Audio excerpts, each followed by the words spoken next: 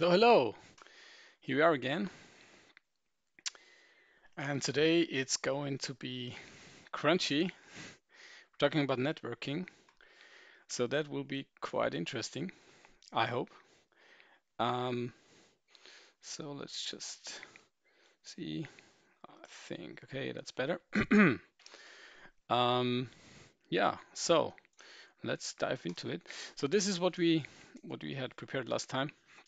We said what is the goal of our whole project here? It's to really write an MMO. And obviously, when you write an MMO, you need some some networking component. That's actually one of the most important parts of, of it at all. Um, so there's massively multiplayer online game, and uh, so that implies it's online. There is a lot of players, so you need some stable networking for sure. So let's jump right into it. Um, I will actually try to make this as an endless endless image here so that we always have the full history of what we did. Let's see how far we can get with that. Um, the software promises that it's really kind of endless. So let's let's continue. So there's actually day two of our journey, and today it will be about networking.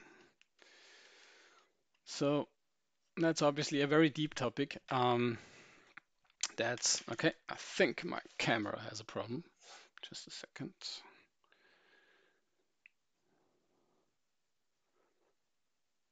Let's see if I can make that work again.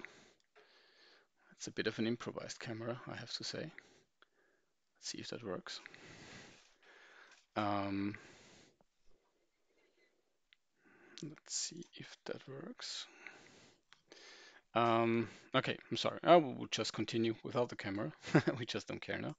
Um, uh, let's just see what is going on. Okay, well, I don't know. It Should work. Okay. Um, no problem. We will just continue anyway. So um, we have the networking stuff here uh, for this game. That, that's very important, obviously. So what we have here is different possibilities on how to set up a network uh, in, general. So I don't want to go into the super super details, but let's let's a bit start from, from somehow from the beginning so that everyone can follow along if he likes to. Um, I think that makes sense, and also it helps helps myself to to to actually get into the topic better because that that's a huge topic actually. So let's really start from the basics. So we have one computer, let's say it's computer one. Now we have a second computer, it's computer two. And those computers, they, they need to exchange some data. There are certain possibilities uh, to do that. Um, they could send it directly. I mean, computer one could could send some data to computer two, but if there is more than than this, we will see that quite quickly things get a little bit complicated because if something happens in computer one and it needs to inform all the other computers, it has to send something here, has to send something there, has to send something there. If something happens here, uh, the same goes on. And so that's really getting messy and we, we have a lot of traffic quite soon. So this is actually called a peer-to-peer -peer network um, or peer-to-peer -peer setup. That's useful in some circumstances to be honest. But um, it's not working um, very well in in in certain types of games. So the more demanding the games are in generally, that that really falls apart quite quite quickly. So what we are more heading towards is is something different. So what, what we are heading for is like what we call a client server architecture. and this works a bit differently. So you still have a bunch of computers. So, but they don't directly speak to each other or crisscross, but there you have like in the middle, there is this one, one machine and this is the server. And what, what this allows us to do is that we have a much more controlled pattern of how, how communication works. So each time something happens on one client, okay, it informs the server. Each time something happens on, on, on, on another computer, it also informs the server. The server then collects all this information. and so, uh, oops, sorry, that would also inform the server, of course. And as soon as the server gets all the information, I mean, it kind of bundles everything together from each of the clients. It updates its, its world state, the state of the game. It updates it.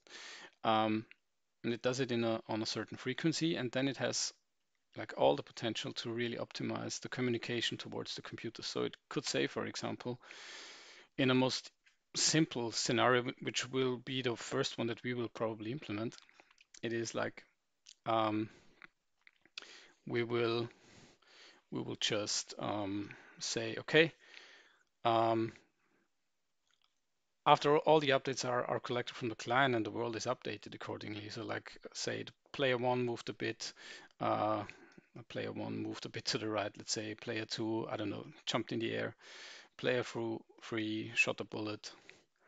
Okay, that's a bullet, um, and so on. So all the world state is updated. Then it can just grab all the state, make a nice compressed package out of it. So that's the new world state. Let's call it WS. And this is then just sent out to all the clients.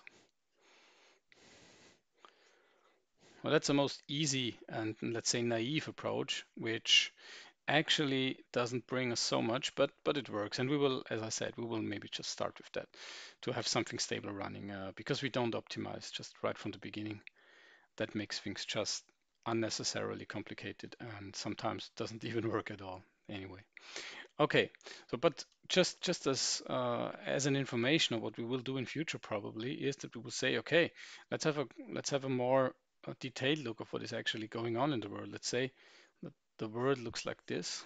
So let's say this is this is our whole game world, and let's let's pretend we look at it from from the from the top, and then we have our players here, and let's say there is player one, and he looks in that direction. So that's his field of view, let's say, and there is player two. Let's say that these are the only ones online now, and he looks in that direction, and let's say that there are some some NPCs, and then some some stuff is going on, like like these are characters or these are machines that are traveling and whatnot. So we see the player one has a certain field of view and he sees certain things in the world. He definitely does not see everything. I mean, he just sees this area here. Player two sees completely different things. And now let's assume that a player one, for example, I mean, he, he made something on, on his client that made, for example, this thing here, this one NPC, let's say this is this is disappearing. Uh, so he, he maybe shot it, so it's gone. Um, so this event, uh, we will come to that, how, how, that actually works. But let's say this event is, is going on, it's going to the server. And this information is going to the server, and the server says, ah, okay, so let's say this is an NPC with the ID, I don't know, one, two, three. So that was there, and now it's it's gone. Okay, let's say that's gone now. But this is quite an interesting information, especially for player one, because that's that's in his his field of view. I mean, it it it needs the confirmation from the server that this NPC is now really gone. But as you can see for player two, that's not an interesting information at all. I mean, I'm not saying it's not interesting, but it's, it's something that he doesn't clearly he, he doesn't see. So there could be some optimization where the server says, okay, I'm sending out specific world state information to player one, which consists of information for NPC one to three that's actually gone. And I will send another package out to player two, which is quite small probably because there there was not something happening at, all in the in the world let's say in the in the last frame. Um, and he can completely skip the information that this uh, npc 123 this one here is no longer in the world because he, player 2 did not see it at all in the first place. Well that's just an example of, of how you can um, save essentially bandwidth uh, for example, so if that's player two, so you would really save bandwidth in terms of, of what you send uh, along that line here. Uh, because over the network, I mean, you know, really every bit and every byte matters. Um, it really makes a difference if you send one byte or if you send uh, 500 bytes. Uh, if you send it 30 times in a second, it, it, really it really sums up quite quickly. Okay, so to sum it up once more, what we will do is a very primitive, let's say, client server architecture in the first step. Maybe we will not have it so primitive in the end, but let's say um, for now it is. Uh, oh, hi, Coin Coined. I, I, hope I pronounced it right. Hi, welcome to the stream. Um, and I believe you followed me, so thanks a lot, very much appreciated. Um, just feel free to ask any questions um, you like. Um, I hope I can answer them. Um, so that's that's where we're heading for. So we are doing some uh, primitive client server architecture. Sorry, I didn't want to do that. And we will improve on that. We will probably just um, create something something more sophisticated along the way. But uh, as you already know, probably we're moving in in, in baby steps, um, but steadily. Um, but the baby steps are really much much easier to to follow for everyone, and it's also in that live coding environment. It's much easier to do for me because yeah, that's actually a bit of a uh, of a stressful situation to do all these things live, but uh, it's, it's also fun and and yeah, I also learn a lot doing it. Okay, so so what we're going to do is uh, now dive a bit into into network architecture a bit more, and then what we're going to to to implement really. So you might have heard of that. Um, so the whole network thing is, is, is really like a layer cake. So it, it really uh, consists of, of several layers. There is hardware involved, obviously there is cables or there is wireless protocols, and, um, there is really like uh, network layer stuff like like Ethernet or or token ring or whatever. Uh, we will not go into that detail. That's that's too low level even for us. We will actually uh, just mention the IP layer because it gives us some important abstractions. Mainly, it provides us with IP addresses, so we are probably used to that. That's something like I don't know 121, 161, 0. So that's IPv4. Um, and it also gives us ports, and I will come to that what ports are. So this is actually a 16-bit number. Um, so this this is actually just an identifier of a specific application that that listens on uh, uh, for network traffic essentially. Um, so that's something that that we take for granted. Uh, we use the IP protocol. That that's what we will do. But from there we would have two basically two options. Um, to have a more uh, sophisticated layer on top. And one is the is the TCP layer, and one is the so-called UDP layer. And uh, the TCP layer is actually quite quite some nice thing. I mean, it is is really reliable, as reliable as a network can be. Um, I mean, it's it's a physical network. It's if it's the internet, it really goes all around the planet. So things can happen, but it really tries its best to, to provide a reliable service. Um, it also actually tries to guarantee the sequence of, of, of orders, uh, the sequence of messages that it is held. Um, and it is also quite slow. And why is it slow? Well, because it has all these nice features there. Um, so that's that's something that is actually a pro and a con. And uh, of course, the pro is that if if you send something over the network, let's say from computer one to computer two, and that happens to be really on the on the other side of the world, and you really go through the network, that means you go through a lot of routers, computers, routers, computers, uh, internet service providers, and so on and so on. And so it's really quite quite possible that packages are either lost somewhere, they get mixed up, so they are sent out as one, two, three, but they are shuffled up because one packet actually takes another route and so on. takes longer probably. So and that's maybe the third package just goes a direct way, so it arrives first. And then comes the first package, let's say, and the last one takes the longest, and that's that's the second package. And that's normally not what you want. So when you send out something in a specific sequence, um, well, that's that's how you want it to arrive normally. Um, and that's actually what, what TCP is quite good at, at, at securing for you. It really makes makes it happen that this really is is is is reaching the target computer and the target program in sequence. But to achieve this, if you imagine this example, well, it has to do certain things. It like, okay, it somehow knows because the headers in, in the packets, okay, well, the the supposed sequ sequence, sorry, is one, two, three. Okay, that's a supposed sequence, but but uh, it knows that what I got is three. Okay, so that's already wrong. I mean, three is, is, not the first one in the sequence. So I will actually wait and then try to ask for probably a resend of the other packets. And then if two comes, it says, okay, that's that's quite okay, but I, I still wait for the first package. And then when it subsequently comes, it says, okay, that's fine, but I know the right order is this. And this is what it will actually provide to the to the listening program. So that could be our game server and that could be a client. Um, and, and what you can think of, okay, that's very reliable, but this all this action, this really takes time. This is really kind of complicated uh, to do.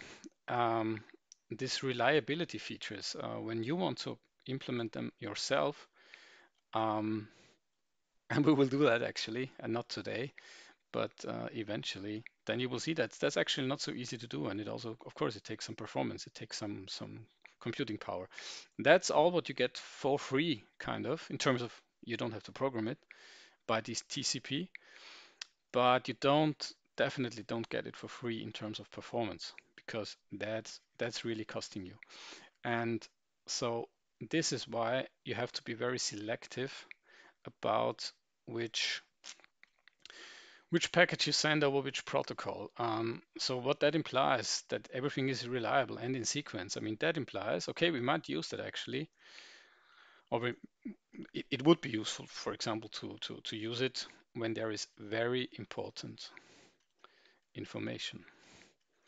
And I will come to that, what is, what is important, what might not be so important. So that if there is really important information, well, you might actually either use TCP or just implement something by yourself that is very similar to TCP and it has the same features. Only if it's important information, but it's really more important to get the information than to than to than to have the best performance, probably. Um, but we will come to that a bit later. But then there is the the other kid on the blog, and that's the UDP stuff. And the UDP stuff, I mean, it's it has also features, if you would like to call them that way. And okay, here I am. um, I think the camera is lagging like hell, but well, maybe better than nothing. Um, so it has a very good feature the quotes, which is that it is really unreliable. Um, it is really unsequenced. It actually stores only small pieces of data.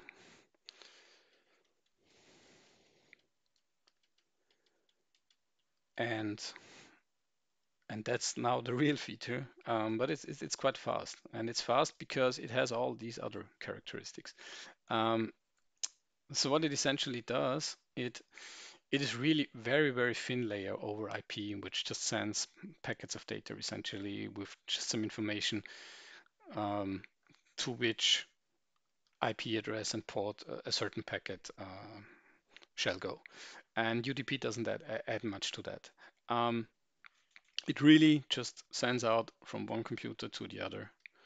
It just sends out a packet. I mean, it tries to send it out. So as we know, the internet works as a as a network of many computers and hardware routers and so on. So it, it tries to to route the packet through all these in between nodes. And if it happens, which which can happen, that somewhere along the way the packet is dropped, well, that's it. I mean, that's that that's it. There is nothing happening in terms of the protocol. Um, that packet is gone. So let's say you send out packet one with with a byte sequence one, two, three. You wanted to send it out to computer two. It is lost along the way. You as computer one, you will never learn that this has happened, that this has not reached its target. Um, computer two, on the other hand, it will never learn or it will never know that you actually send out the packet. Um, if it receives a packet, well, that's it. That's fine. It, has it. Um, if it does not receive a packet, well, it doesn't receive it and it does not know that someone else has ever sent it. Um, so in order to have something more reliable and it's something that goes more in the direction of like um, like what TCP does, well, you have to invent all these things by yourself. But I will come to that later. Let's for now just go back to the to the topic of what is important information and, and what is not important information. That's maybe something that that is important to know, actually. So we have um, important versus unimportant or not so important. Okay.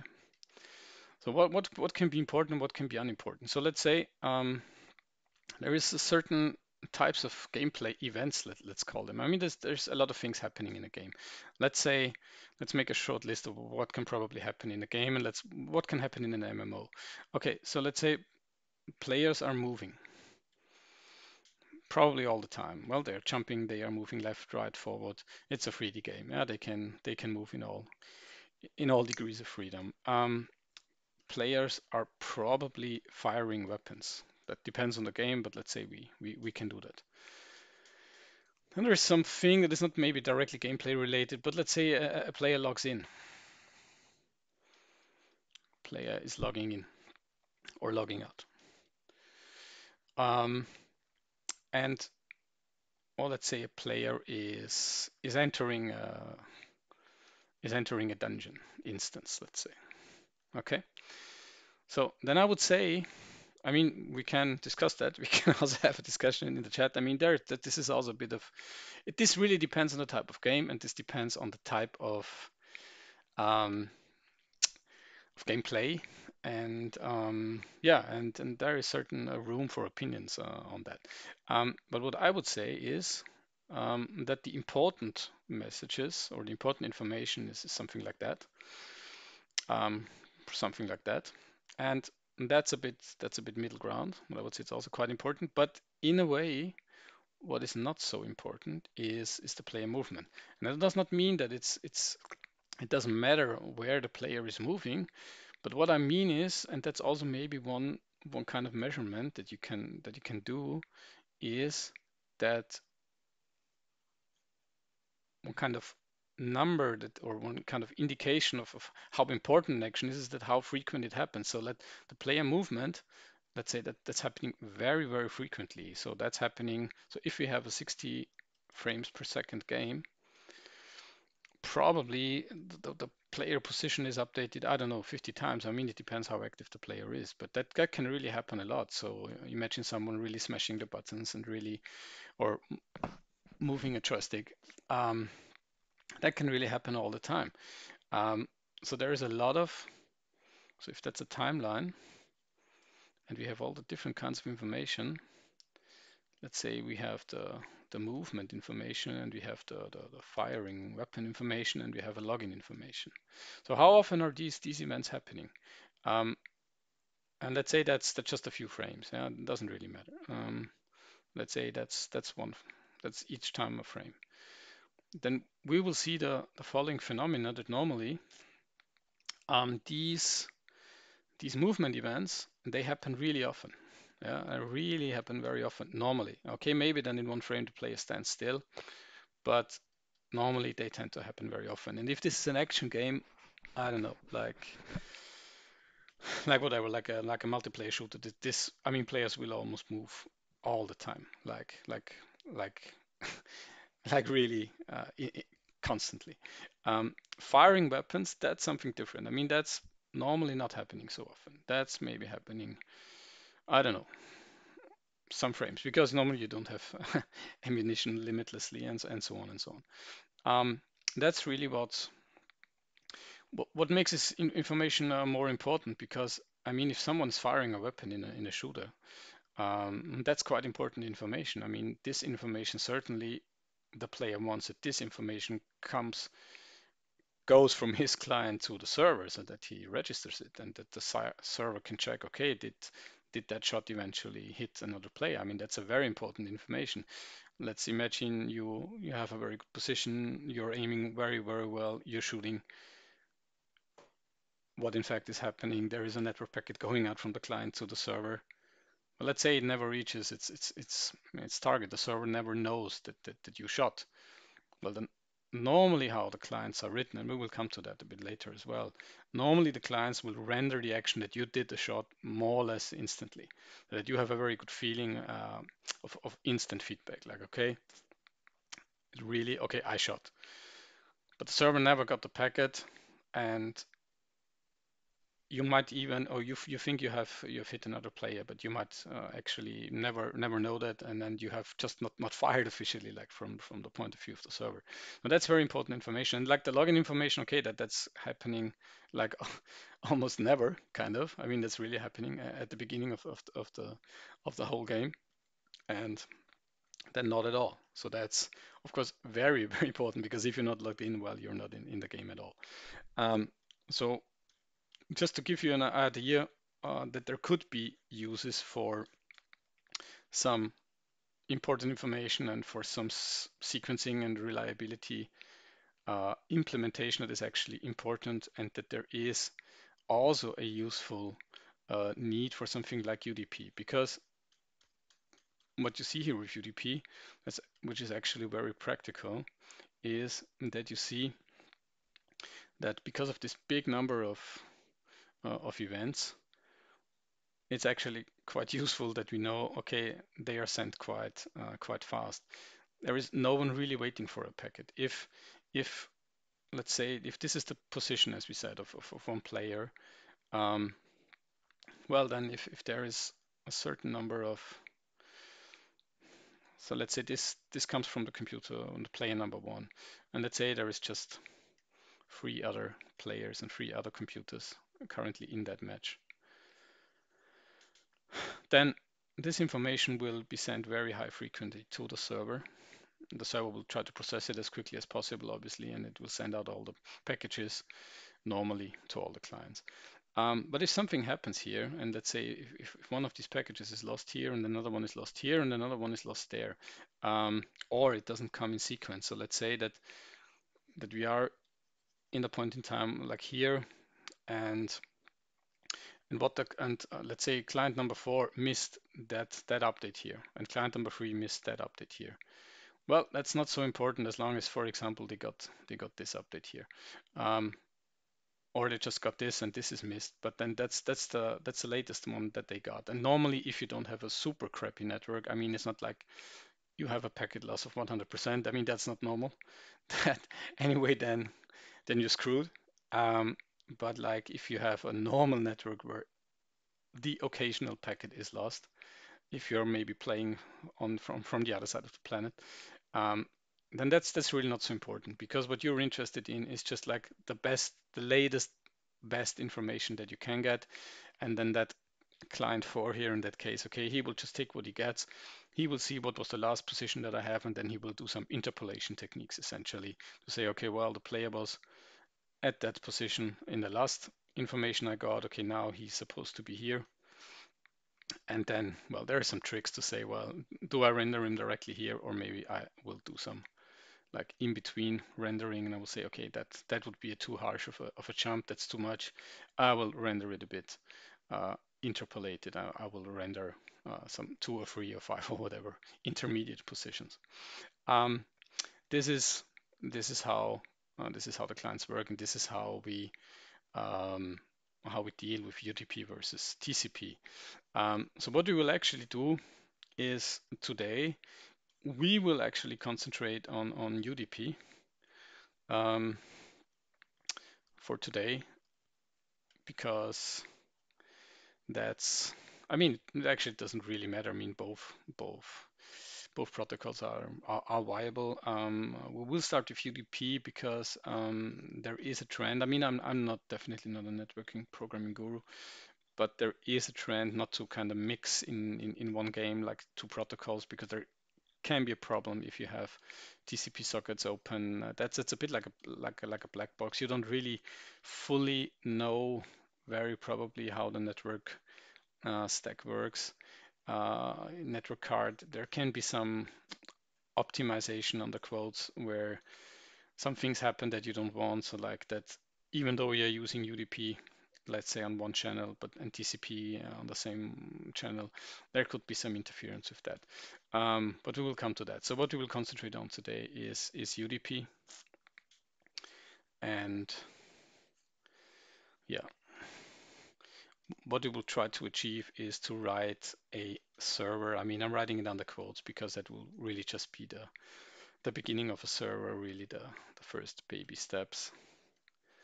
Um, and are certain different approaches that you can take to to, to write such a server. Um, what we will do is we write it as a thing as a separate process. For now, we might do other variants as well. Another variant would be so, or like, okay, what is this? What what do I mean with a separate process? So what we have, um, or what you've done yesterday on day one is that, that we have we have programmed the, the, game client. Uh, which is in our case, because it runs on Windows, it was an exe file. It was called game.exe. And um, yeah, that's running as a separate process, and that will be our game client. um, what we could do is essentially we could write code in a way that this one thing could serve as a client or as a server or essentially as both, uh, which we then refer to as a as a listen server. So you could start it up in a way, and there's a lot of games like like I think all the all the games with the Unreal Engine they essentially can be started with parameters like okay I, am a I'm a client I'm a standalone client I, am working as a as a server only or I'm a client and a server in in one package so to say. Um, as you can imagine in my in my mind um, this one is the this one's the most complicated to do. Um, if you have a clean separation, um, networking is always hard to be honest with you. But um, for me, it's it's easy, and, and I think we will start together now with a separate server process, separate code base. Um, I, I, really think that's easier to, to handle as as beginners, and I think in network programming, almost everyone in the world is a beginner, uh, to be honest. Um, so if someone from or so is, is looking here, is watching here, which I don't think, uh, maybe maybe you're a pro, um, but um, well, network programming is really quite hard, and and uh, yeah, you will see me struggle for sure. and uh, let's let's try it as as as easy as possible. Okay, let's quickly uh, think what uh, I could explain next before jumping into code. Um, probably nothing at all. There will be several points creeping up. Um, okay, so what we want to do, let, let's set a goal for today's stream. Um, so what we want to do, to be very concrete, we will use the SDL net uh, framework, which is part of, of SDL2. And you have seen that yesterday for text rendering, for example, we already used the SDL TTF library. Um, and today we will use, and you will get to know SDLNet in case you don't know it. Um, what I like about SDL.net, because we, we don't need to use it. I mean, it's just just because it's SDL doesn't mean we, we need to use it. We could use anything. I mean, we could write uh, direct Unix sockets. I mean, it's not so easy for us because we're on Windows. Um, we could directly use uh, the WinSocket library to have uh, network traffic going on. Um, we could use that. That's just quite cumbersome. And what we want to do is we want to be um, like at least a bit uh, platform neutral, let's say. Um, I think that that's something that's that's quite nice to to have. And I might also switch coding between different machines from time to time. So and SDLNet does that, so it is really platform agnostic, and it's quite low level actually. It's it's really, in my understanding and in my mind, it's really just a very thin wrapper uh, above this, above these kind of like direct operating system uh, libraries over sockets. Um, and I think it, it hits a sweet spot. So it we can learn quite a lot from it. It doesn't take a lot of um, of all the nasty things away from us, which which is good because we want to learn them, we want to see them. On the other hand, it um, it helps us quite a bit with some things that we maybe don't want to deal with. So so that's what we will do. Um, and yeah, so what I want to to achieve is to have that server running, and let's say it it's I mean, it does not accept ex connections. That's what I wanted to write, but essentially that's not the way how UDP works. There is no not not such a thing like a connection out of the box, but um, it accepts incoming packages. So this is what we want to achieve. Um, and we will we will read data from these packages, which is of course something we want to do because the incoming packages then in the future, they will come from our game clients, obviously. And they will very probably contain something like, lag input data, for example. So this will really, uh, we will spend some time with all these things in the next days, weeks, whatever months. Um, the input data is, yeah, like which keys were pressed and so on. So this is the kind of data that comes in from the clients. Um, so we want to read that kind of data and then we probably also respond like like we answer back to to the clients. So this is really what, what, what we want to do. Um, and I would say, let's just jump right into it because it's called live coding and not live drawing. And anyway, I'm always drawing at a 45 degree angle. That's that's what I that's what I see now. Um, I hope you're not sick by, by reading that that very specific style of of drawing and writing. Okay, good. Let's let's now jump into it. Um, let's jump into coding. Before we can start to code, we have to download some stuff. Um, I mean, I already did it, but I will just do it once again so that you really see it from, from the start. Um, so where are we now? So we will just go to SDL.net. Um, and this is the site where you can, uh, can, you can where you can download this. Um, as yesterday, we need to look into the development libraries and we will use the MINGW um, library. So just download that. I mean, I already did this. I'm not do it now. I will just bring you right to where I where I put it. Just a second. Um, so when you download it, this is just a this is just a tar GZ file. So you just you just unpack it. I think I don't have to show that to you. I'll show you the end result, so to say. Um, so you know that that folder here, that's the SDL uh, MINGW package that I created yesterday. So you see we have the SDL base package here. Then we have the TTF, and I just like unpacked the SDL2 net. Uh, but that's the newest version. That's 201. That should be the same one as here. Yes. And you saw I I actually okay. That's yeah. That's not that's not the date when I when I downloaded it. Um, and there we see the familiar structure. So we are in 64-bit world. So we have again the, the binaries with the DLL runtimes, the runtime DLL, sorry. Um, we have all the include stuff, which is yeah nothing really special. There's just one file. And we have the, the libraries themselves. Okay.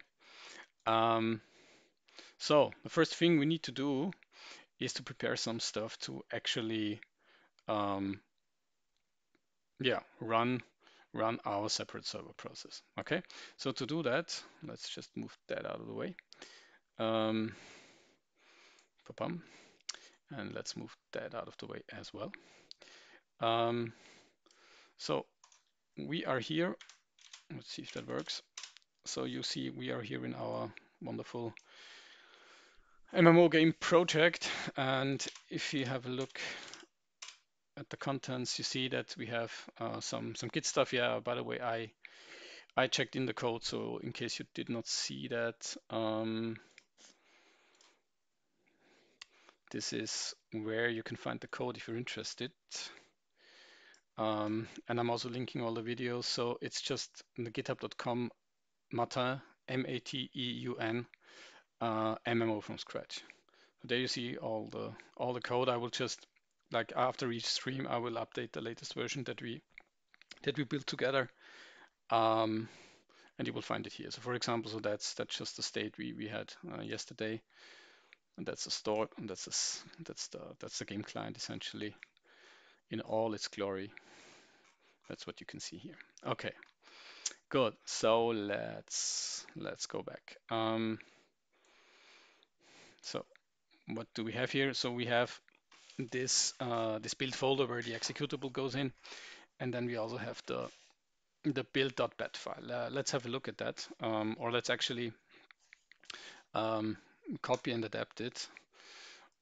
Um, so what I would like to do is um, to actually uh, have a separate build uh, build file for for the server. Um, as I said before, we could mix that all down into one file, to one source code, also into one build file. I, I don't want to do that now. That's it's just much easier to have it uh, separate.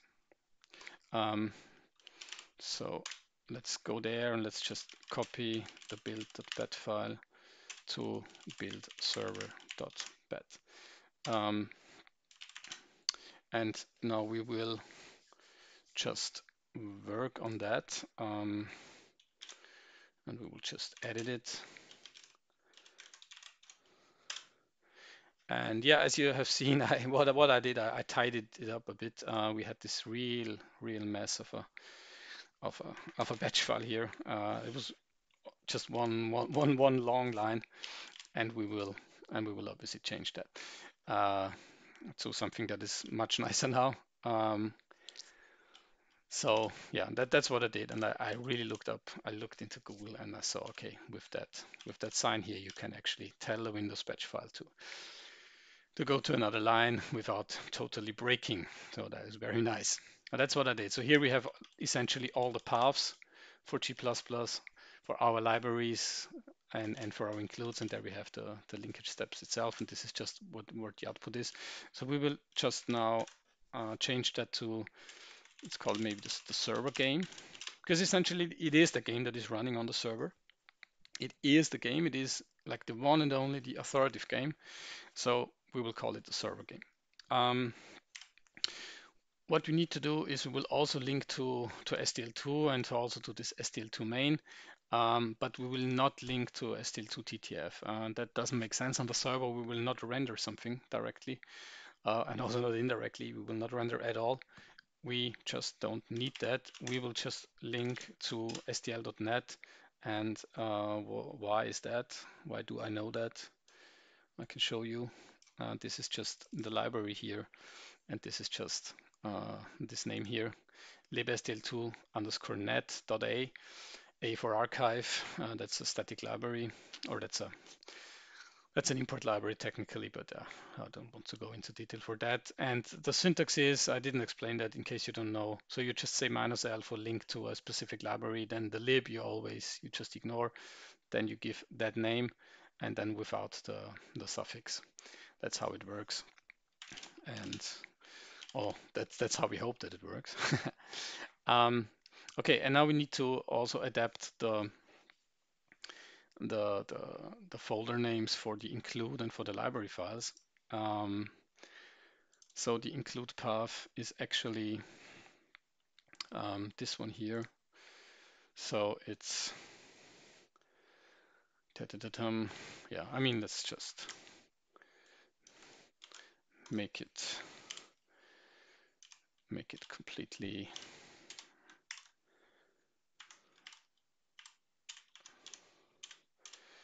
So let's say this is the include path. So that's a mm, capital I and a D. And then, you know, we need to change this. We need to change this to nice slashes. That's just the problem with Windows. And oops, sorry. Okay. Okay, that's, that's how it works. That's a complicated character there. Um, the TTF stuff we don't need actually, can get rid of that. And then we need to um, have the library path as well. That will be just this thing here, essentially. And again, we just have to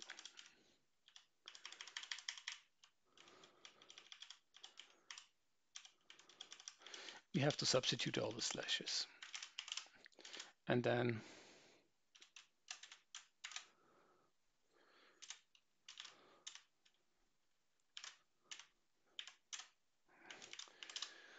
we have to tell him, okay, well, the line is not ending here. Okay, so that should actually work now for the first steps. So now we have one file. Okay, that's fine. And now let's let's actually create a new file, um, and we will create this in the source directory, and we will call it server main.cpp. And yeah, this will this will be the main the main source code file for for the server process. Yeah, really. Um, just a second, just look something up. Okay, so what we will need to do is we will need to include some stuff. Um, so we will include the basic SDL stuff, and that's SDL do.h. That's just we need that all the time when, when we use something from SDL. That's just that's just a matter of fact. And then we will directly include SDL to SDL underscore net.h. Okay, so that's that's essentially uh, just this file here. Okay, um, and then yeah, maybe probably later some other stuff. What we also need to do because we really have an executable um, in the SDL universe, so to say, um, we need to make a small trick that you already know. I mean, I will show it to you from the from the client main CPP. So as you see, we have to we have to we have to make this sort of uh, magic definition here, uh, this magic macro, so where we just indicate, okay, we let let let SDL handle handle the main uh, for itself or something. I don't really know what it does. I mean, I had looked it up once, but it's just not not so nice um, to do. Um, so we will do that as well. So define SDL main handle because otherwise, but I will spare you that. Um, it just won't work. I mean, the the program just just won't start. So we will just do the normal stuff. So the number of arguments, the command line arguments themselves as a pointer to pointer, then just just the basic stuff. And it's really just um, try actually to use SDL log this time. I think I didn't use it in the client, um, but it's it's a good indication that the SDL uh, linkage works actually. And um, yeah, server server game starting up. How about that? Um, the nice thing with SDL log is it it gives you a new line for free. And yeah, that's that's something you could do much more. I, there's also some log levels which I don't use now, but um, yeah, you could do that if if you want. Um, so let's see. Um, the build server.bat. And there's one more thing that we need to change. Sorry. Um, let's, let's, go here um, because what this does, it does not compile the main CPP because that would just be the client. So what we want to compile is actually the, the server main.cpp. um, and that's that's what we did here now. Um, okay, I mean, that looks good. That, that, should actually work. Um, that will not do anything useful, but, but let's see if it works. So let's fire up the build server.bat and let's see what, what's going on. So, okay, it built. So let's see what we have now in the, in the build folder. Uh, sorry. Ah, yeah, okay, yeah, we have a lot of stuff. Um, and what is important here, we also have the server game. So it's quite huge already. um, so that's that's all the overhead that comes with linking to SDL and so on. Um, so let's actually run that and, and see what, what it what it says. And it says okay info, so that's the level that comes because of SDL.log. Um, server game starting up, so that's what we've written here. Okay, so that's that's good, that's fine. That's that's what we want. Um, so now let's continue to actually fire up our real server program. Um, anytime when you when you do something with, uh, with SDL, you need to to initialize it. So we will do that first. Um, so we will do SDL init, and if you remember, or I can show you, um, if you go to the to the game client. So we also said do the SDL init, and then we said in which so-called subsystem we, we want to initialize here. And, and as we are the, the, the game client, uh, it was obviously very important to have some some video to display. So that's why we told him, well, let's start the video subsystem because we will render something essentially. Here on the server, we will not render anything. We will also not output any audio. Um, and we will actually just really use the base functionality of SDL itself. So that's why we just pass a zero here. Um, and if there's an error, there will be a negative error number. And if that happens, as, as yesterday, we will just say error initializing uh, SDL, and I will just call SDL get error. And I will essentially just bail out with a non-zero code. And yeah, as yesterday, let's again do the baby steps. So we will just compile, see if everything still works. And so, I mean, now we don't really see if, if we bailed out of a zero or not. Um, so let's actually just add a, add a kind of a success message, which says, okay, um, all good. Server closing down because that's that's what it does now. But let's say, um, what do you say? Regularly, regularly. Okay. So that's the that's the indication that everything is good, and we will fill this up with some code in between. You know, we have the freestyle one one one file fits all style. Um, so we'll fill this up, and each time when we see this uh, this message, okay, we will know that actually we're good. I mean, the, the, the thing that we've written that that executed in the normal way, let's say, we did not bail out uh, early. Okay, let's try that out. Sorry, that was the wrong thing. And so this is what we want to see in the future. All good server closing down regularly. Okay, so I assume we have now uh, initialized SDL itself. And now what, what we need to do, we need to initialize the SDL net subsystem, obviously, because we want to use that. Um, so I hope you can see that. I will move it here so that we don't, uh, we are not obscured by the, by the chat. That's very important. Okay, so what to do. I mean, these all these SDL documentations they look very similar. Um, I I actually quite like them, and that's especially very nice. That's the person who, Jonathan Atkins, who wrote that library. I mean, he wrote some nice nice stuff here. There is even a small poem. I don't know. I don't know if it's from him, but it's it's very nice actually. You you should read it. It's it's definitely worth it. And yeah, so what we've already seen, it's the includes, they are here. Compilation we didn't have to do, we just downloaded the binary right away. And what you want to do is to go to the to the to the to the startup function functions, uh, sorry, and that's SDLnet init. And um, let's just do it a bit like this. Um, wait, that was not what I intended. Okay. Um, so let's say SDL net init is smaller than zero.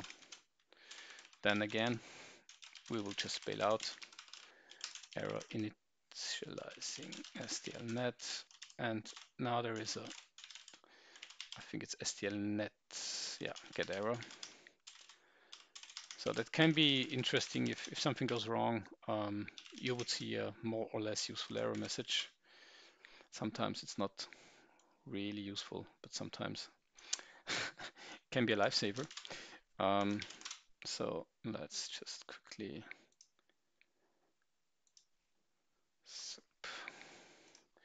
try it out and let's see if that still runs. So looks good. So it seems that also the initialization of SDLNet uh, did work. Um, so there is also an SDLNet quit. Um, I mean, let's let's actually do that.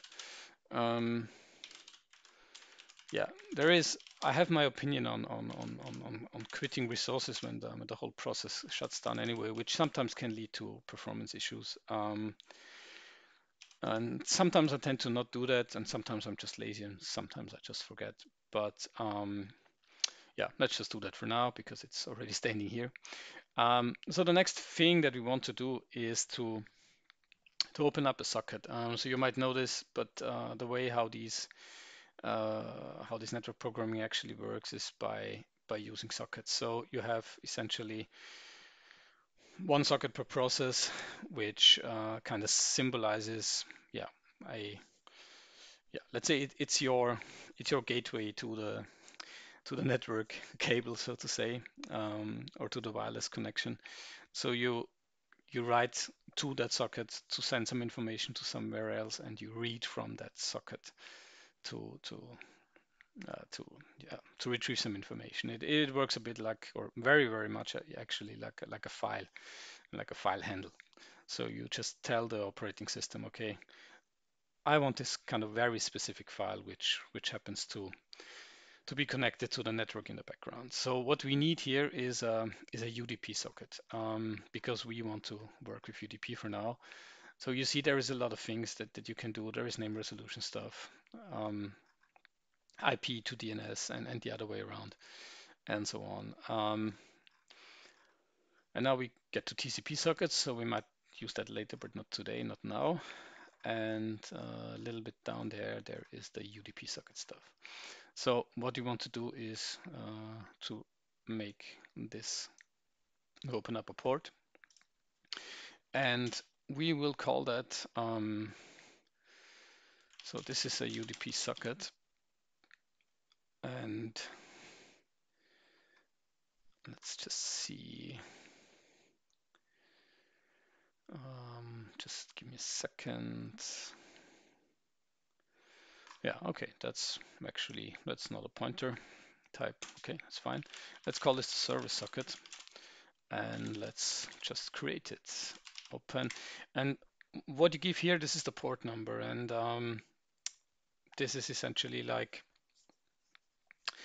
like a unique number of an application that, that does network uh, traffic, so to say. Um, maybe we will fire that up a bit.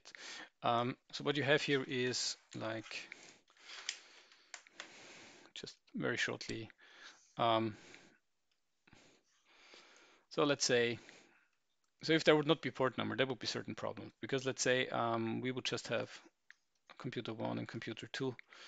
And let's say there is a program that that is waiting for UDP packets, and there is one one that, that sends them. Um, and it has an IP address. I don't know. Let's say it's 10.0.1.2, and that's I don't know 80 10 5 5 whatever. Um, if that would be the only the only encoding options that we have, then we could say, well, send a packet and then and send it to the address 10, 0, 1, 2, and the payload is, I don't know, hello. So that's five bytes. Um, and just send it to there. Um, okay, that would be fine if there's just one program listening, but if there is another program listening, which does maybe a completely different thing, and it just uh, gets something from computer number 999, that's, that's might be a web server or whatever, then okay, then how can that work? I mean, that's just one one IP address. So how, how would the how would the network card essentially in the control of the network card know where to actually pass to which program pass pass the data? And that's where the ports come in. And then the ports are just like like number plates for the for the programs. And let's say mm, this has the port I don't know 666, and let's say this has the port I don't know 7000 then you would actually just add this and say, well, this is the IP and the number plate, the port is 666. So this is then a very specific program on that computer. And then a network card, which lists to all the packages, then knows, okay, this, this packet goes here and this packet goes there and so on. Okay, so this is just a port that we will now uh, define here. So we are literally deciding which which port we use. I mean, it in theory and also in practice, of course, it's necessary this port is is not in use already. Um, it should not be. Let's let's try out the 666. Uh, I played around before with that port. Let's see if it's if it's really not in use. I mean, it should not be. Um, so we just say we have now we open up a server socket that is listening on this port here. Okay. Um, and so let's see if if that fails. So if we don't have a server socket, um, so if that's zero essentially, again, you know the drill. We will just say, well, error setting up our sockets. And we will ask SDL what went actually wrong. Let's hope there is nothing that goes wrong. But in case, well, we know what to do. Okay, so let's, sorry, let's build it. Okay, there is something wrong. Um, he doesn't know server sockets. tap, tap, tap. What is wrong? Yeah, I think I know what is wrong because UDP socket has has a small L, and that's I think what the problem was. Um, yep, SDLNet open does not exist because it's called SDLNet UDP open because there is also an SDL TCP open. Okay. It's building. Let's see if it's working. And yeah, so it seems that's that's okay. And let's also just kind of right away close the socket down just to be nice citizens. Um, UDP close and we just give it our service sockets. And let's just quickly try that out so we know that it works. And then we can continue. Okay, so that's all looking quite healthy still. So the next thing we want to do is we want to receive a packet. Uh, we want to receive some information. Um, that's that's what we're for. That's that's what what we are. That's what our purpose as the server is. Um, so let's receive a packet.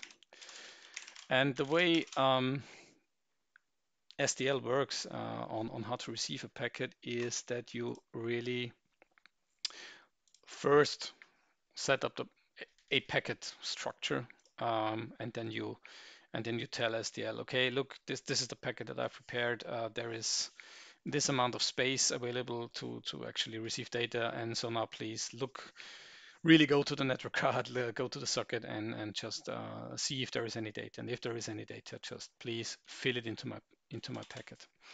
Um, so to create a packet, let's see there is a certain command which is called SDLNet alloc packet, so allocate a specific packet. Um, and that's so let's do that now. And this is actually a pointer to a UDP packet. And um, let's call this the the packet in because that's that will be we will use that as the as the incoming packet. Um, and this says SDLNet allocate the packet. And yeah, let's let's just give it a size of 1024. Uh, that's a number in bytes. Um, there is a certain limit um, in, in, in UDP packets. I don't, or I will not go into detail now, but uh, UDP packets can be very small actually. I think the official maximum size is around 250 bytes. That's like the, the guaranteed size that a UDP packet has, like on, on every hardware on the planet. It can be bigger. It very often is nowadays, but um, yeah, I mean, let's just stick with 1024. Normally, that should work. And uh, I mean, if it doesn't work, we will we will see it anyway, and then we will try to find a workaround. Um, so then we will again check if if that packet is somehow not created. Um, and that's a reason for us now to just go out, error creating packets. And let's see what, what has gone wrong.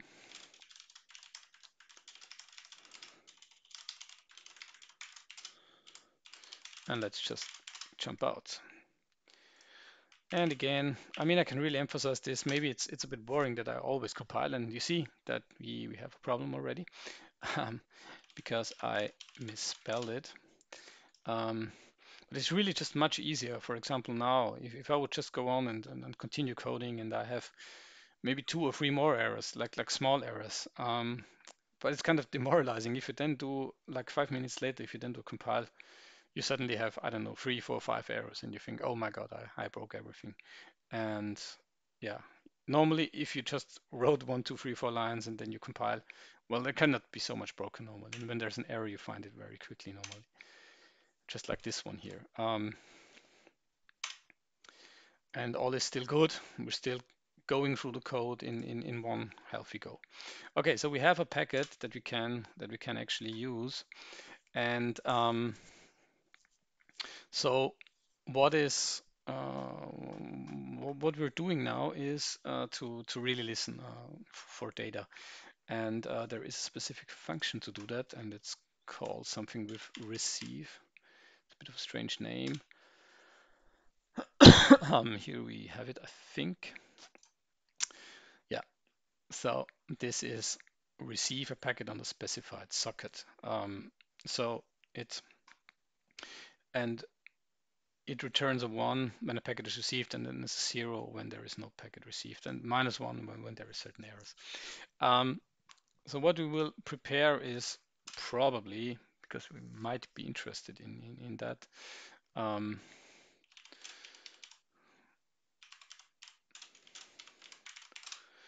uh, the number of received. Um, mm, I mean, it's not a real number of received packets, I think. It's really just indicating with a one that there is a packet, but whatever. Um, let's call it maybe receive. Okay, I think that's that's actually more like like what it is.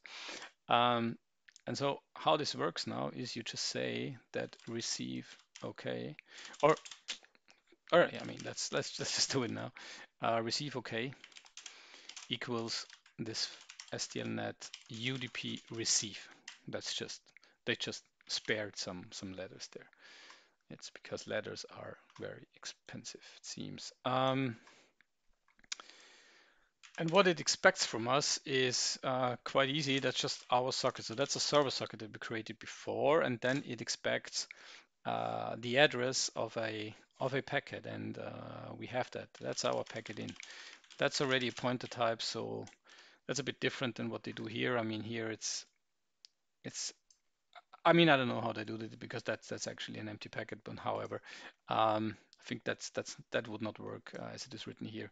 So we have a we have a pointer here. We can just give that right away, and yeah, and then so if num receive or if in our case it's receive, okay. So if that is not zero, essentially, um, let's just cheer out and say, well, we received something. Um, well, let's say the game server received a packet. And that's it.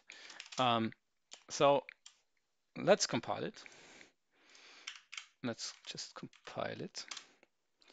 Okay, that was going through and let's actually run it and we will see what, what is happening is, I mean, it's good. It, it runs through. There's one important thing, I mean, but that that's not a useful property now for a server, let's say, because a server we expect it to be like like always on, hopefully, and like, like running for a long time, probably, especially if it's an MMO server. Uh, it's not just there for a small match or something. Uh, it maybe is on for, I don't know, half a year or two years or whatever. Um, but that does not work, uh, obviously. And there is one, one important thing that, they are right here. Um, so this is the important part here. So this is a so-called non-blocking call. So when you say SDL.NET, oops, UDP receive, that, that will do the following. It will really just check, is there something waiting on that specific socket? Is there a new UDP packet coming in? And if not, like almost immediately, um, it will just just go back.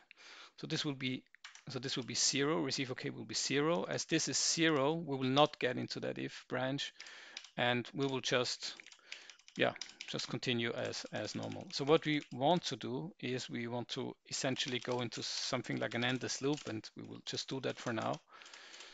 We will do that much more clever, let's say, uh, in, in the future, because that, that is really like an endless loop that can kind of not, not be, not be stopped. Um, but we will, yeah, change that eventually. And yeah, so this is now much better um, in terms of that the server just won't won't won't close down after just trying it once.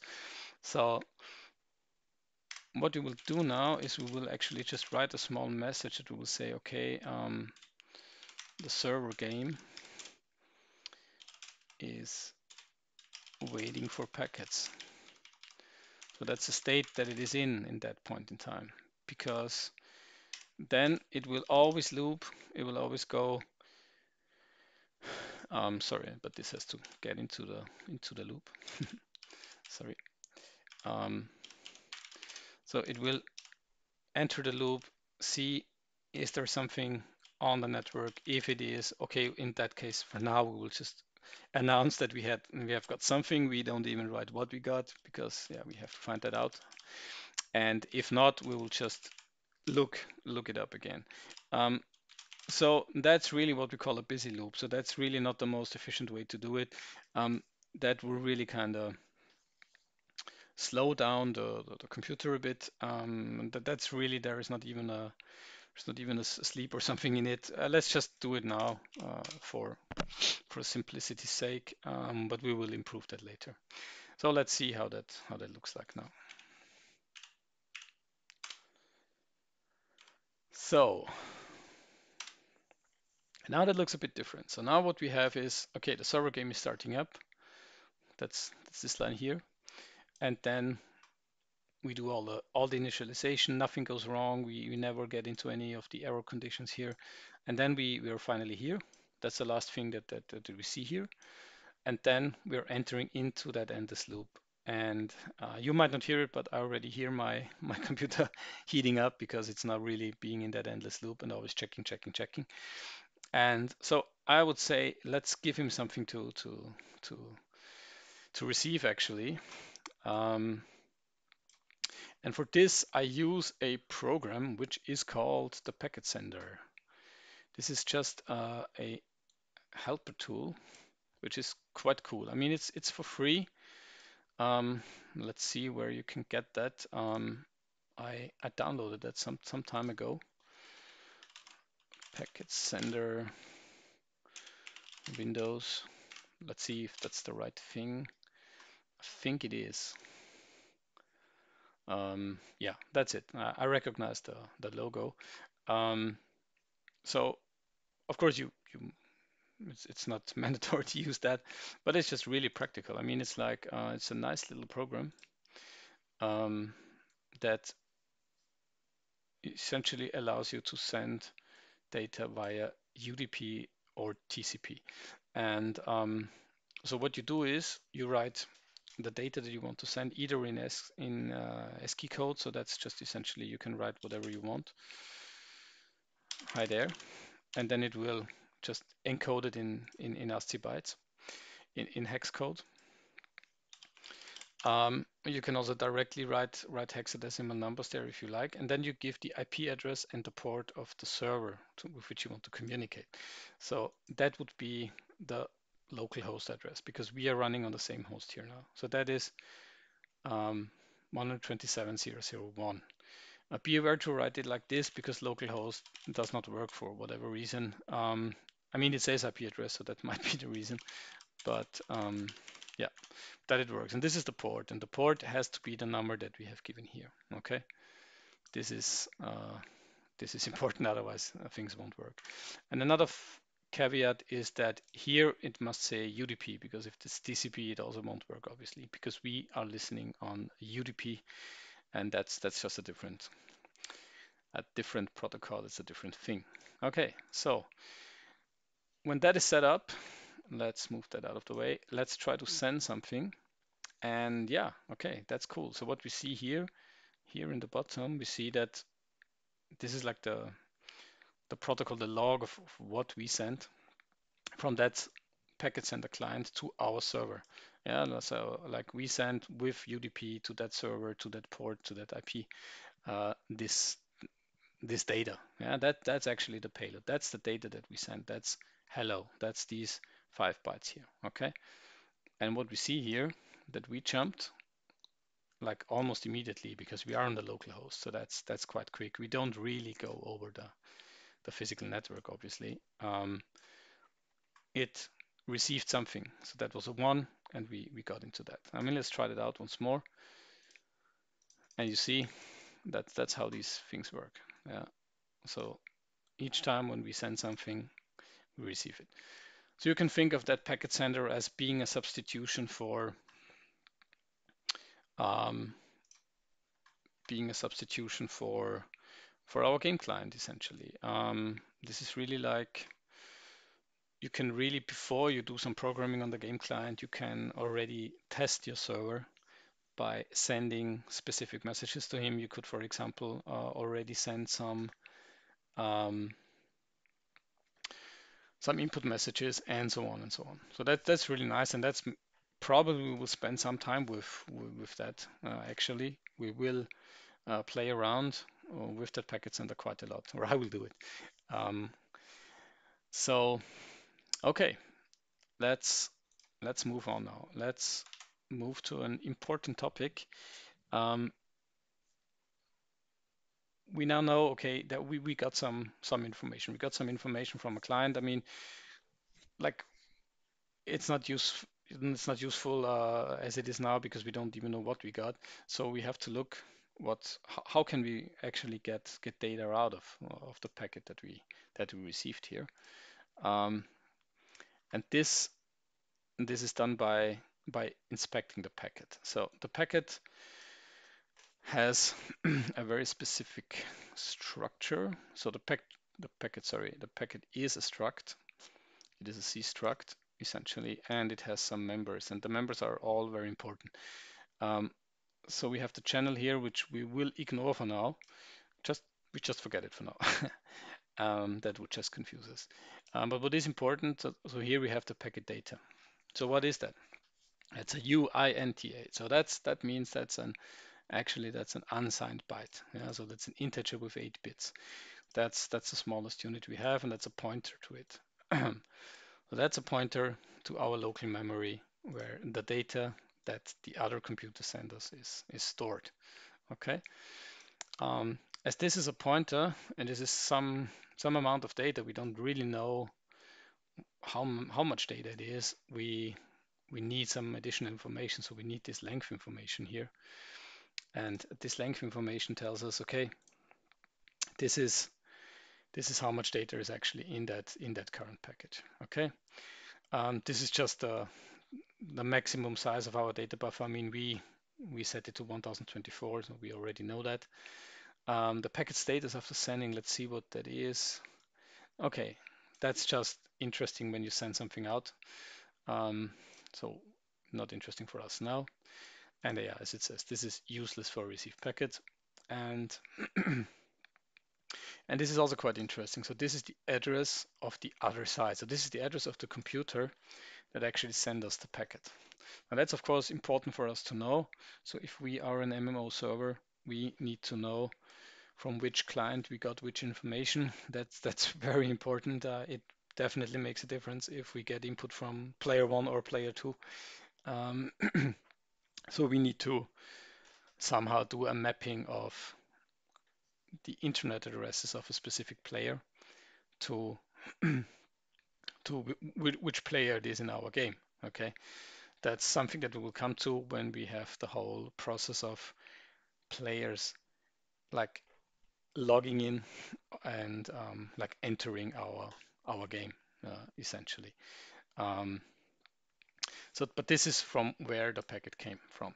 Okay, and I, I would suggest we'll just like examine what what, what we what we got here, and uh, we will just print it out so we so we so we get a better feeling of of how of how the data looks like. Um,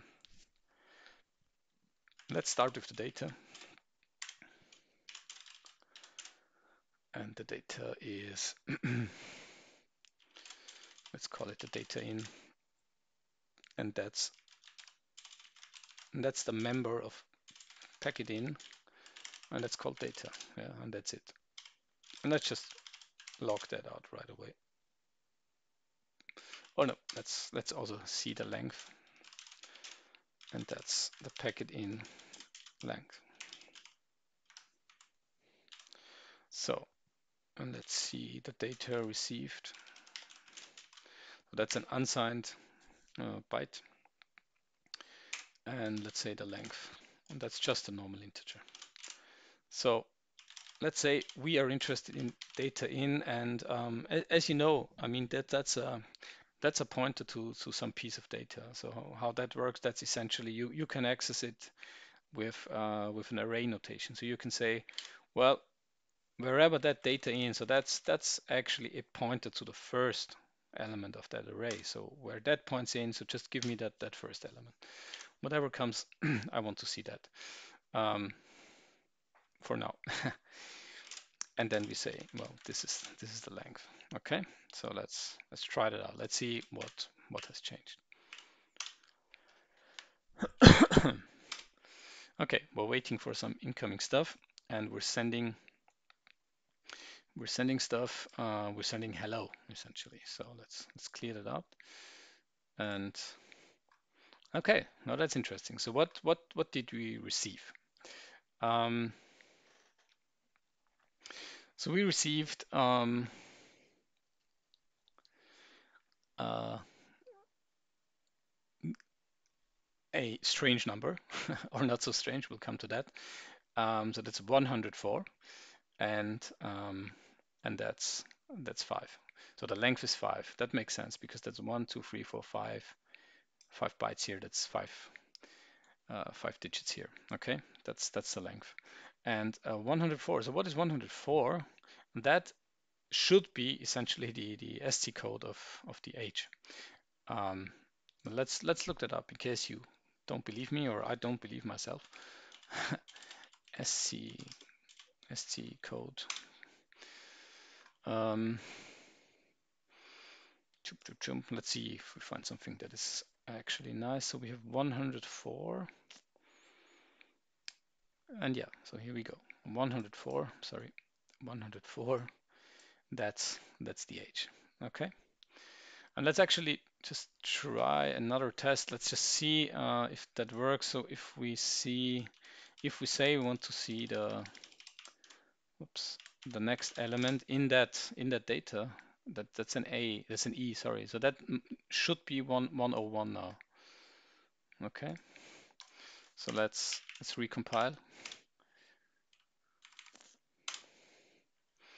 And let's resend the same thing.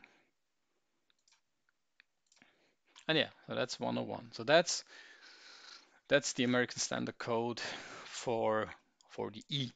Okay, so this is essentially how you you receive data. Um, that's that's literally all all to it. And um,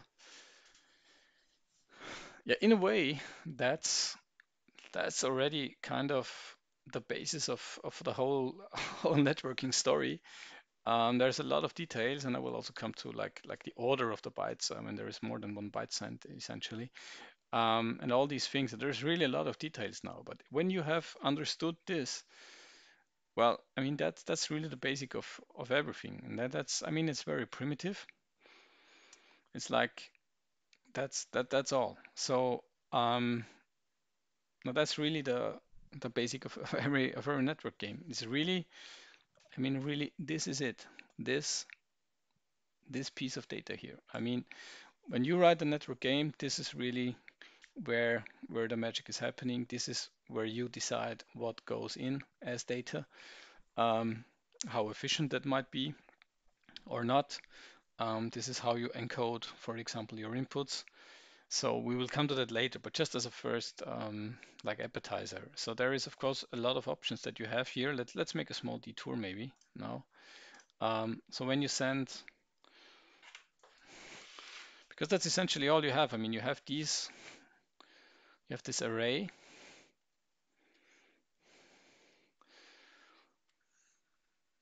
You have this array of bytes. And only to a certain degree you can actually decide how, how, how big this is because what I told you, a, a UDP packet, so it's it's not completely clear to me at least uh, how big the size is, but there is it is something between 200, uh, 250 and I think 1,500 bytes, um, something along that line. But it's also not, not so much. And if you really want to be on the safe side and you say, well, it's 250 of these bytes here, well, I mean, you know, it's it's 250 bytes. I mean, that's that that's not so much.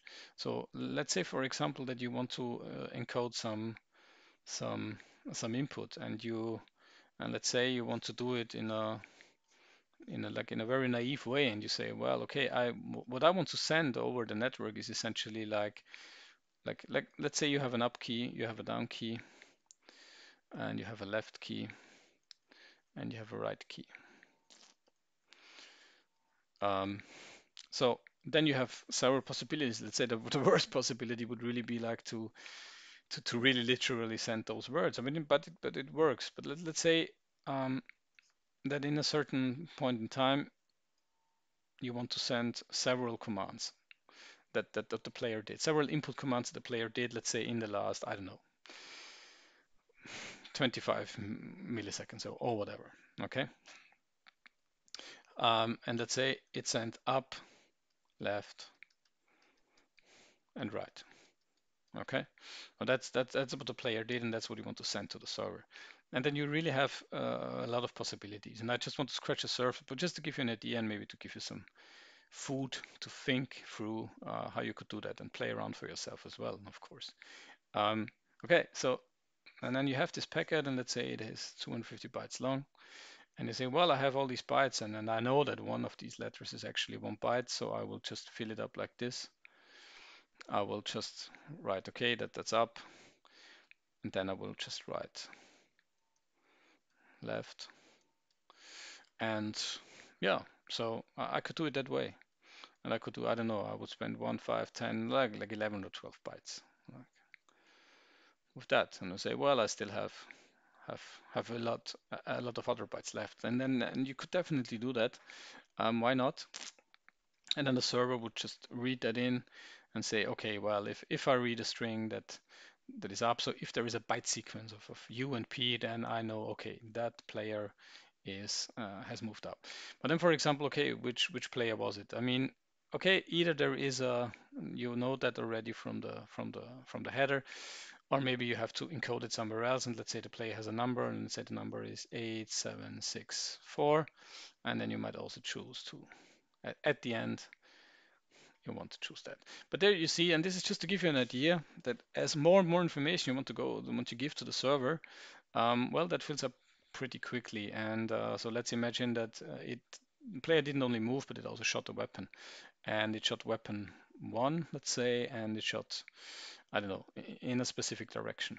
Like there is an X and a Y and a C coordinate, and so on. And I will not do this now, but you get the idea that you have to somehow encode, okay, there was a fire event, let's say, that was a weapon one, and so on. Um, so if you do that in that, let's say, naive way where you encode everything in a, in a byte, then, well, you might run out of space quite quickly. And so there is different ways how you can do that. So you can, for example, use just that first byte here, because the nice thing is that a byte actually consists of eight bits. Okay, that's more than eight now. Let's say that's two bytes, whatever. Then there is ways that you can treat actually each each bit separately. And for example, you could just say, I say this is the up key, this is the down key, this is the left key, and this is the right key, these four bits. And when they are zero, that will just mean they are not pressed. And if one of them, and if they are one, and that that means they are pressed. So to have the same thing, that would be that would be one, that would be zero, and I think that would be also a one. So that's half a byte, the same information. If you know how to pull it out, we'll come to that. The same information as 1, 2, 3, 4, 5, 6, 7, 8, 9, 10, whatever, 12 bytes. That's half a byte.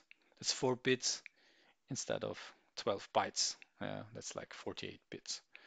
And as I said, each bit really is very important in in networking. It's it's really it's really important to save bits. Uh, I can tell you, um, your your players will will really thank you for that. Okay, so let's let's jump back into the code. So and let's uh, sorry, where's the code? Here's the code. okay, good. So what we have now is a server that is listening for stuff and it is actually receiving it. So what we next next thing we want to do is we want to actually kind of answer back potentially because it doesn't make sense if if the server is not communicating something back to the clients. Um, that is just useless. So let's do that. How so how do we know how to how to communicate back? there is well, first of all, let's let's see how, how could we send actually some data? How how how would you do that? Um, and that should be written somewhere here. Let's just say look for send. Send, send, send. So yeah, that's what we want to do. So there is a function called SDLNet UDP send, and that's that's what is used here. And um, let's see how far we come. Let's see what we need to what we need to do. Let's just say that here in at that point in time, okay, we know we received a message from a given client, and we actually grab the data so we can we can process it potentially. So, oops, let's say that in a real implementation, we would not do something with the data. So we would really interpret and process it. So we would like align it to the respective client and update update the world the game model itself. Yeah so we'll we'll come to that. I i don't know. Please please let me know in the chat if that if that makes sense. So when i speak of the world and the game model if, if you know what i'm talking about. So um um i, I just assume you do otherwise please shout out um so it would update the game model like uh, e.g move player one, I don't know, two meters in the game world to the to the right in global coordinates. Okay, um, and then we would send an update to all the connected clients. That's the naive way how we would do that. Um,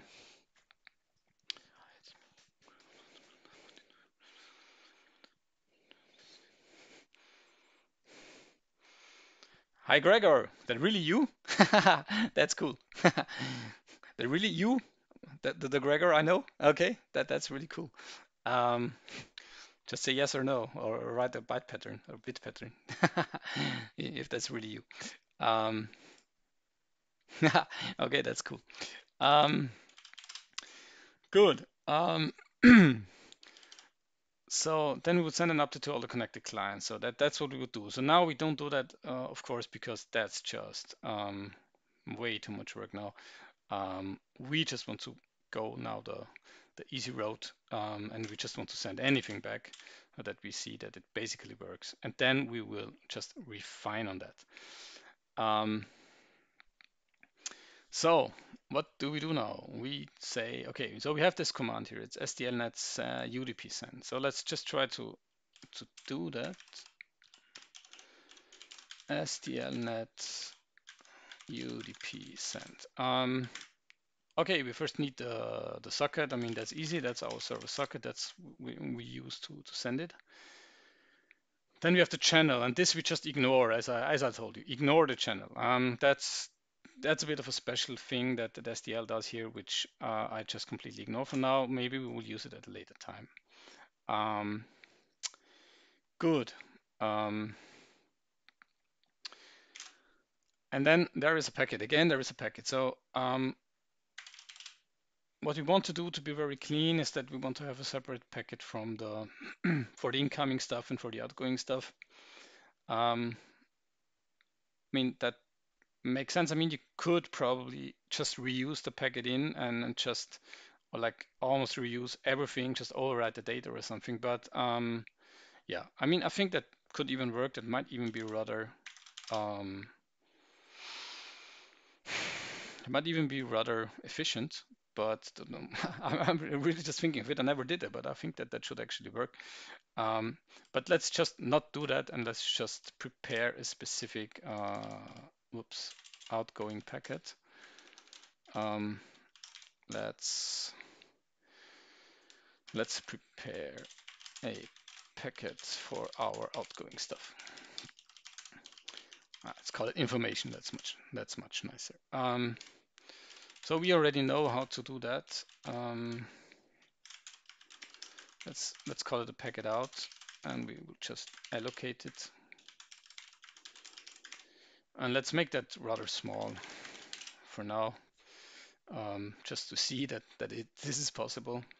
Um, I will now skip the check if the packet is valid. Um, yeah, I'm just too lazy now. uh, we could do it, probably we should do it, uh, but we're still in the in the freestyle mode. So yeah, we just skip that now. Just assume it's it, it's there. Um, and so this packet out, this is what what we will use here already. Yeah, so it's it's a it's a pointer to packet. That's exactly what we have. I'm sorry, let's pack it out. Um,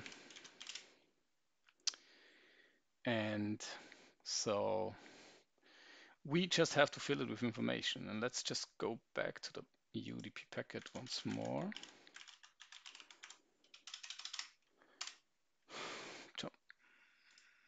So what is the struct? What does this look like? So the UDP packet again, it has the channel which we completely ignore. And it has the data. So now the data is interesting. Um, there are several ways now to fill in data. Let's let's start with the most easy one, um, the most raw one. So we have that unsigned integer buffer. um, and let's just call it the data out. And let's just say that that's an array with, with 10 bytes. Okay. And now we could just go there and stuff data into, into that array. Um, and we could just say in the first position, I don't know, whatever, we we just put the hex hex value 01 and, and um, in the second position we put the hex value, I don't know, whatever. So this is really just a protocol that, that, that we invent. So we, that, that's what I showed you before. I mean, that's really like, this is where our creativity comes in. This is like how much we can actually stuff into into our packets. So let's assume there's really not a lot of space.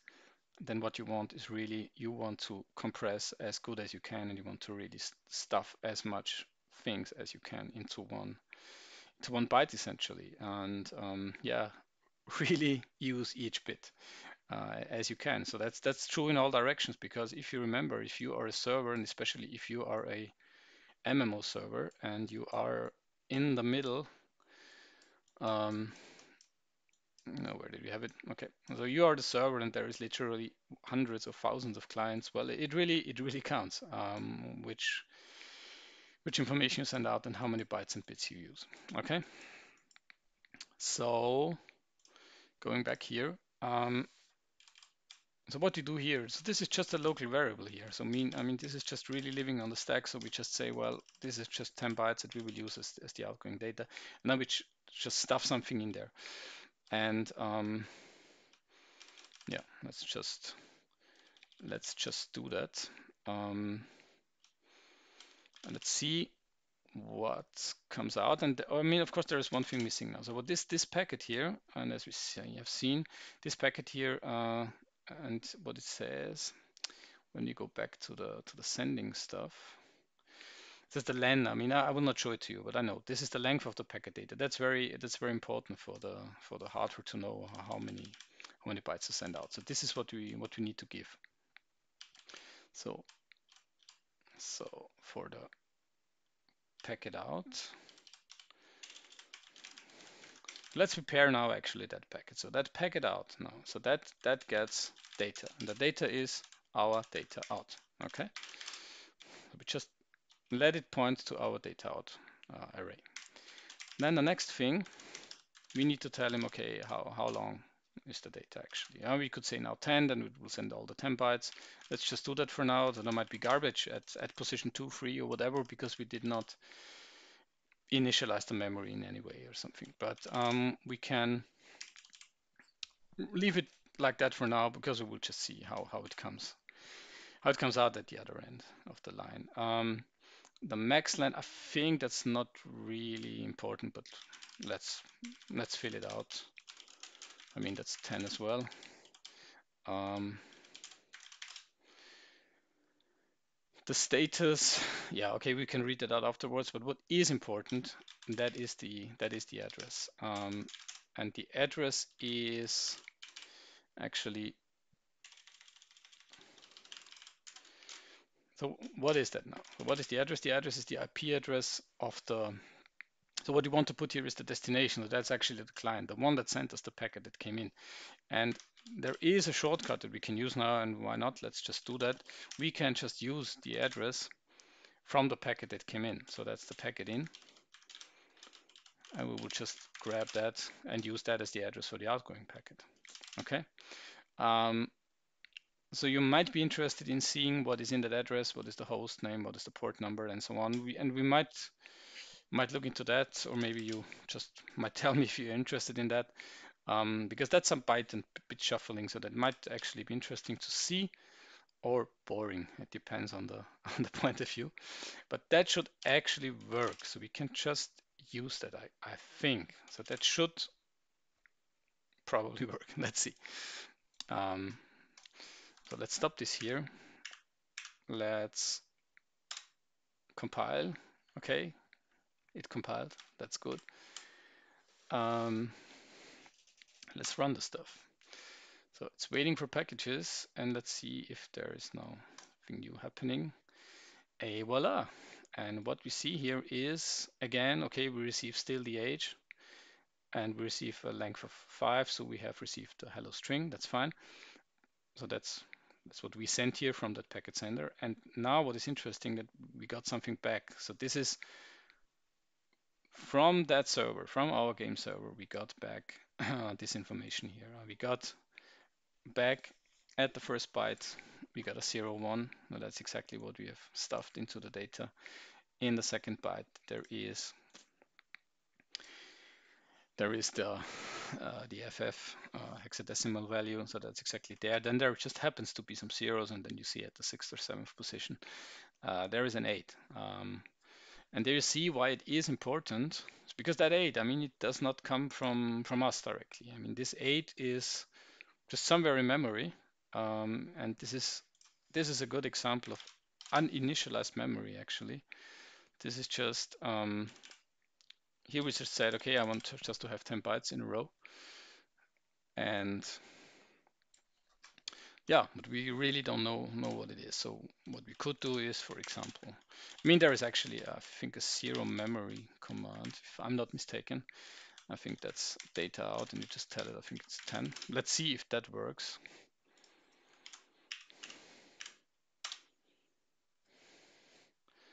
So that's, I think that's some specific stuff. Let's, let's just do it kind of by hand. okay, oops. So that is probably important to say, well, um, to just really say, well, I want to be sure what is in there. It's really, um, it's always a, a, given value, and normally that's that's just zero. Well, that should work now. We should not have these these ugly eights here or something.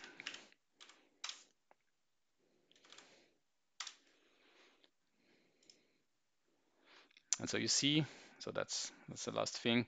And now we just have the bytes that we stuffed into it. Okay, so that's zero, one, and FF, and, and all the rest is zero. And these zeros are all coming from from our side, and that's very important because you might write actually very similar code because that's that's really like like just like a mirror. Like on the client, what is happening is it's exactly the same thing. I mean, we will not write it today there's not so much time left for me, um, but this is like exactly the same. I mean, the client is also sitting in its game loop.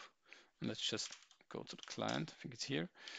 So that's just a mess. Sorry, but um, let's say this is this is our game loop. Um, so what it will do, and we will come to that, um, is checking the local inputs and and at some point in time also checking input from the server. So what, how does it do that? Well, it is listening to a or to its UDP socket. I mean, it doesn't have one now, but uh, we will create one. And it's listening to its UDP socket. And then it's really just the same thing. It is reading, reading in the information, interpreting it, applying it to its own model on this specific client. So I'm writing that very verbosely, but maybe it's useful so that when you, if you download the code from GitHub, then you actually kind of get this kind of documentation uh, also with it. Um, applying the model on the specific client, um, and yeah, just and then finally rendering out the stuff. So what it would do is really just also do that receive stuff.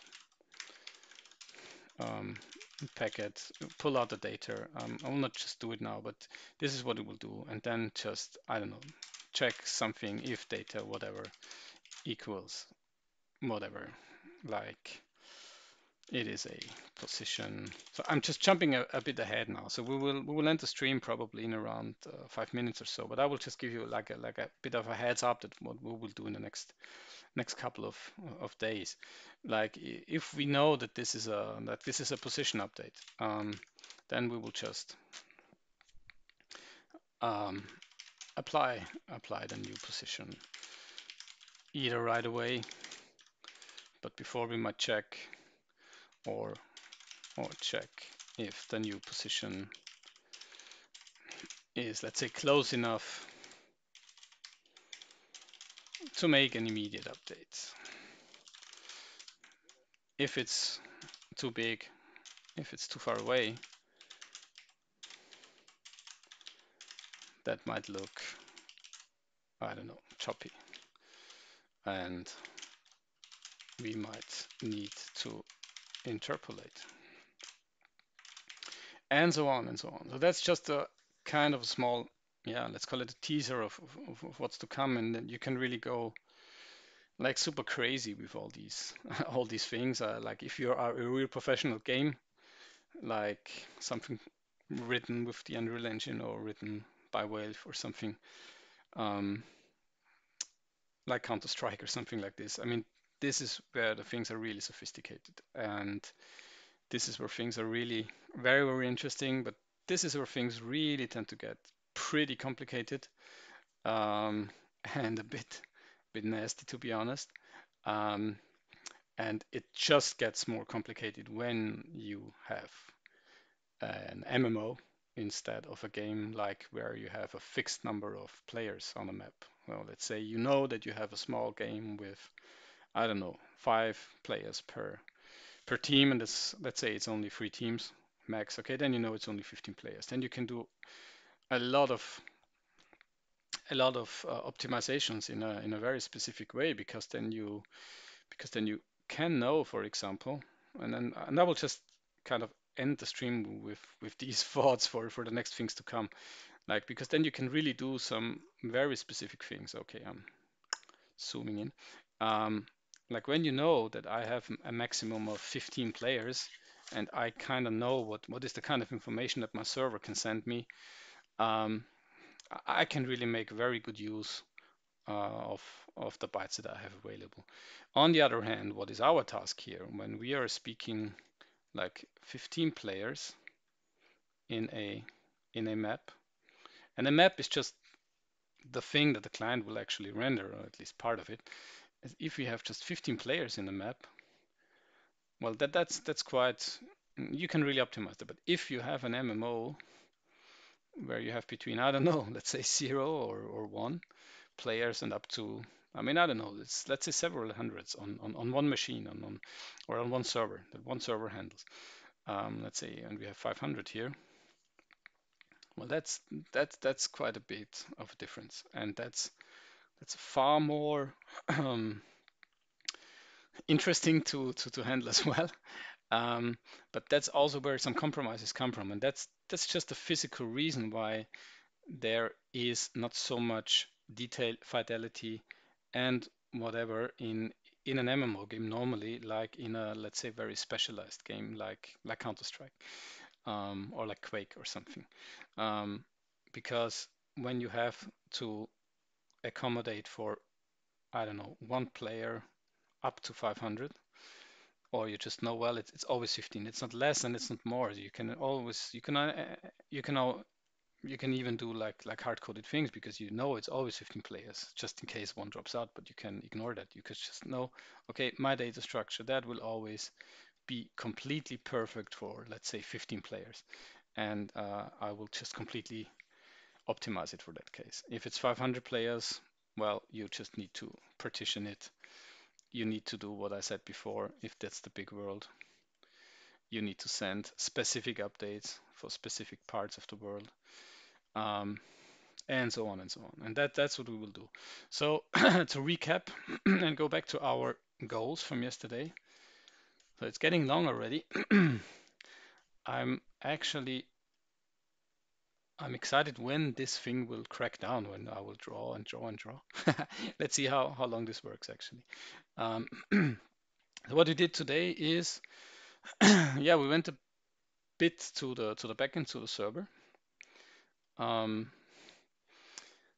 we have, I mean, to say we worked on the gameplay server is a bit is a bit too too much uh, actually, but let's say we we had a start. Okay, um, what we did is really we we worked on the gameplay server and we just made the very first basic part. So like we have a very first version of a working UDP socket. That's very raw. That's totally naive. That cannot really do anything.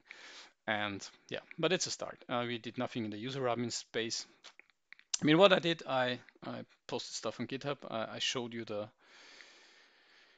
I showed you the the link, and I think it's just like github.com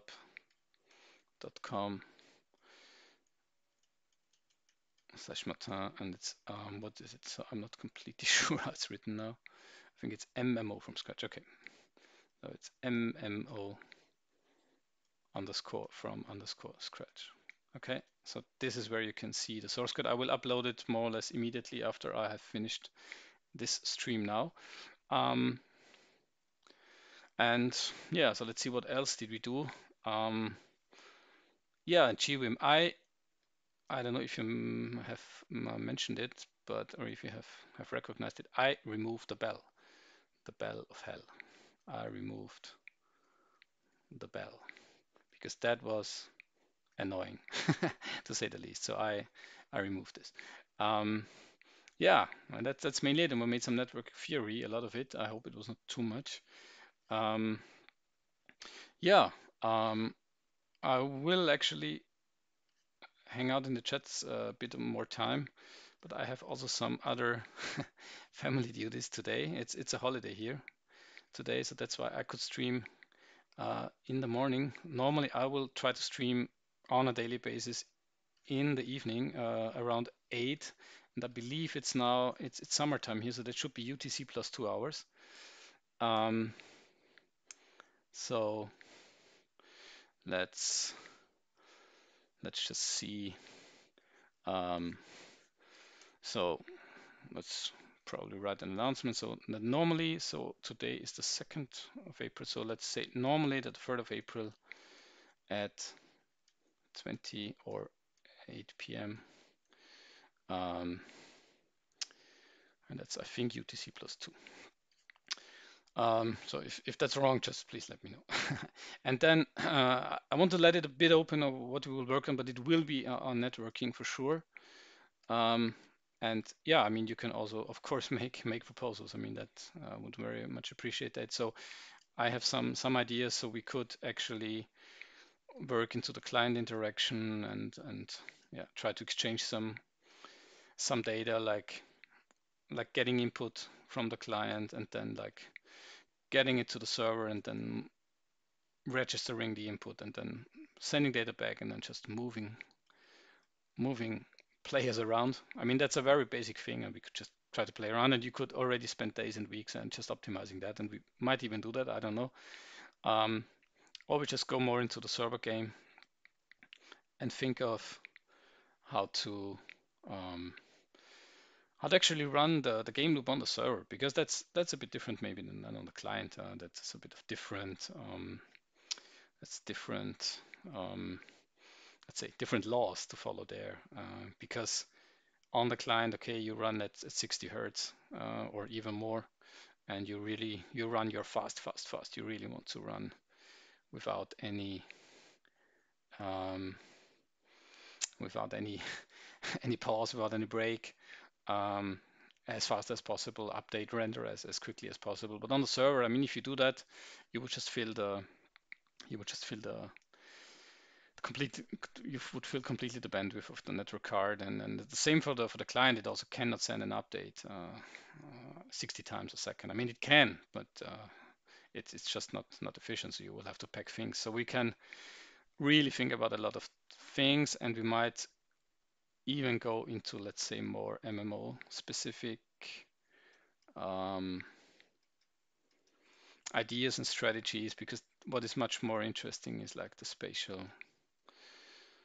spatial separation of, of, of players and so on because the worlds tend to be much much bigger and so on and so on. So you see i mean it's it's it's really really like an endless topic. I mean it's like wow it's just um, really really big and um, yeah let's just enjoy the way and uh, let's see if we can learn something together and yeah let's let's call it a day for now. So it's almost 12. That was two hours. I I will plan to to stream between one and two hours. Um, to be honest, like more is is really it's really exhausting to do this kind of live coding stuff. I mean, you really have to concentrate, and it's really hard. And maybe if I'm if I'm more fit, then I will uh, do longer streams. But uh, I will try to do it between one and two hours. So today I think we reached something that is quite nice, and um, yeah, so um, so thank you all. Um, I'm very happy. I, I, appreciate that I had uh, quite some viewers today. So that's, that's, that's really very, very nice and it's really motivating. And so I wish you a nice day or night, depends on where you are in the world. And yeah, so normally see you next time, see you tomorrow. Goodbye.